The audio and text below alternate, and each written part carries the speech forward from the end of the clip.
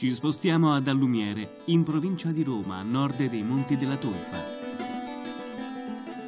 La comunità di Allumiere ha mantenuto sempre i suoi diritti civici sulle tenute, che passarono dalla Camera Apostolica al demanio dello Stato e da questo a varie società private, fino a quando i diritti civici furono liquidati con sentenza del marzo del 1908 dalla giunta d'arbitri di Civitavecchia, attribuendo la proprietà dei beni al comune di Allumiere.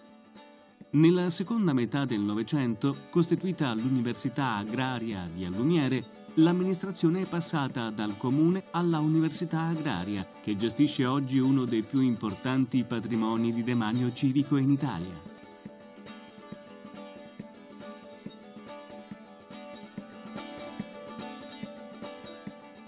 L'Università Agraria di Allumiere eh, gestisce circa 6.500 ettari di proprietà collettive, eh, quindi di demani civici, non di terreni gravati. Tutti i demani collettivi sono stati inseriti all'interno appunto della ZPS Cerite Manziate Monti della Tolfa, che raggruppa circa 70.000 ettari. Attualmente le fonti eh, principali di finanziamento sono gli aiuti finanziari in materia eh, ambientali, in materia sulla zootecnia, eccetera, eccetera, elargiti dalla comunità europea. Quindi parliamo di piano di sviluppo rurale, i progetti LIFE e altre eh, progettazioni minori che vengono riconosciute ai titolari degli enti che sono sovraordinati alle zone a protezione speciale.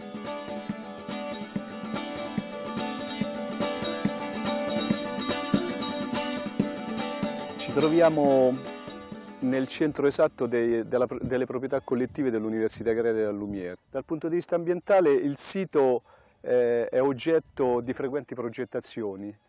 I più importanti che possiamo citare è eh, l'allevamento biologico messo a disposizione degli utenti che avessero intenzione di fare la zootecnia secondo questo metodo, di cui l'Università Agraria è stata il pioniere per dare l'esempio anche etico, non solo voglio dire proprio formale, del, che, dei vantaggi che può portare una conduzione zootecnica biologica rispetto al convenzionale. Quindi che cosa abbiamo fatto? Abbiamo concesso 800 ettari di demagno collettivo regolarmente autorizzato dalla Regione Lazio affinché un nucleo di utenti riuniti in associazione possa appunto svolgere la zootecnia con le proprie mandre secondo il metodo del biologico.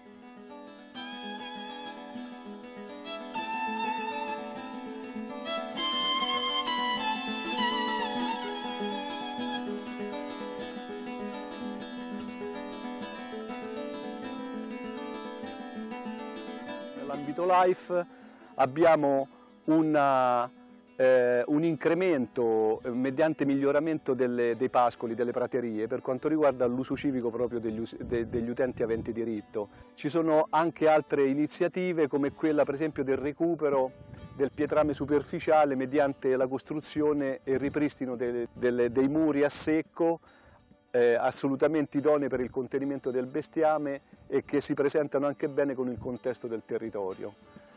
E poi anche eh, e soprattutto un intervento molto massiccio sulle infrastrutture per quanto riguarda diciamo, la, eh, la, compartimentazione de, dei pascoli.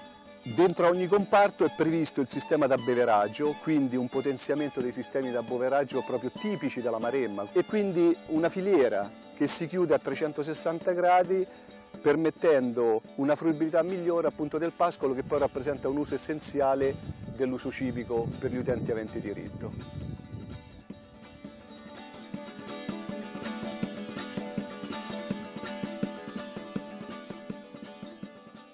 In questa natura aspra e rocciosa si delinea un paesaggio caratterizzato dal pascolo brado delle vacche maremmane, da un ricco patrimonio boschivo e da una parte di superficie adibita alle colture gestite con metodologie dell'agricoltura biologica.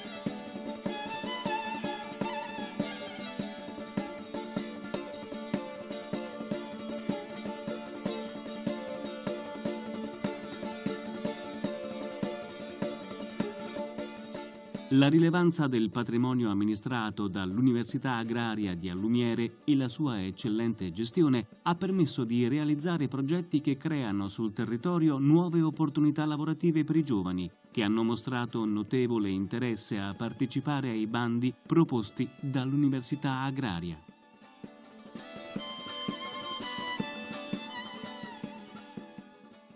Come ad esempio la realizzazione di questo orto biologico gestito da un giovane della comunità di Allumiere che ne ha fatto una vera e propria attività lavorativa.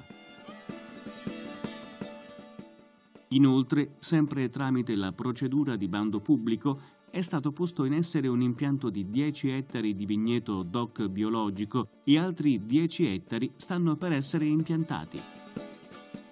Altra interessante iniziativa è quella dell'impianto di 5.000 piante di ulivo, diviso in quote di 30 piante per fabbisogno familiare e date in fitto, tramite bando, a uso domestico. È da sottolineare che non si dà in concessione il terreno, che rimane sempre dell'università agraria, ma solo l'uso all'impianto.